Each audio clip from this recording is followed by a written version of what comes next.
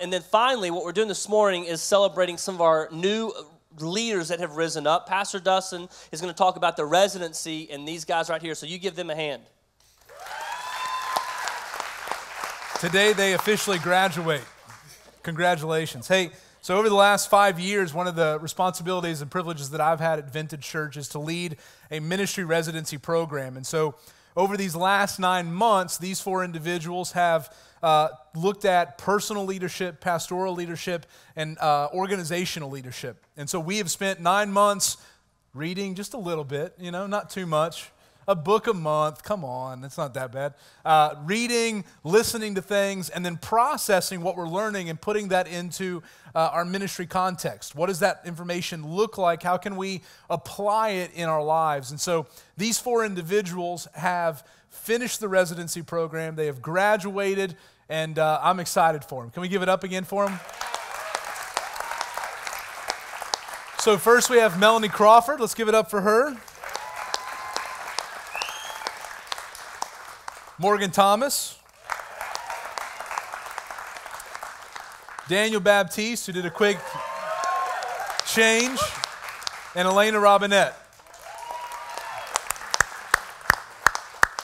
So they've put in a lot of hard work. We're really excited for them. Over the next uh, six months into 2019, you're going to hear a lot about uh, leadership development at Vintage Church, a lot about a leadership pipeline. That's something that we're putting a lot of focus and energy on. And so I pray that we have more people, maybe some of you here that aren't necessarily in leadership yet, aspiring to that wanting to take next steps, or people that we're going to anticipate reaching that the Lord might save that are far from Jesus, that might not only come to know Jesus, but then be raised up to be a leader in the local church. And so I'm really excited about this. I'm thankful for you guys. I had fun too.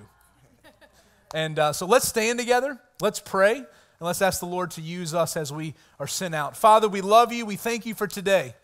Thank you that we can trust you and anticipate you to move. I thank you for these residents, God. I thank you for the hard work, the dedication, the, the challenges that they faced. I pray, God, that uh, these last nine months they can take that information and use it for your work and your kingdom.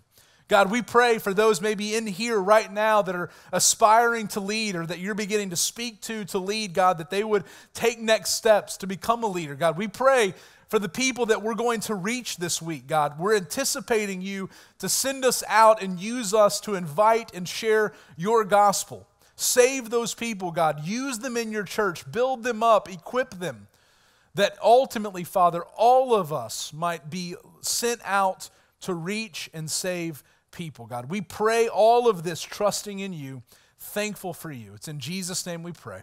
Amen.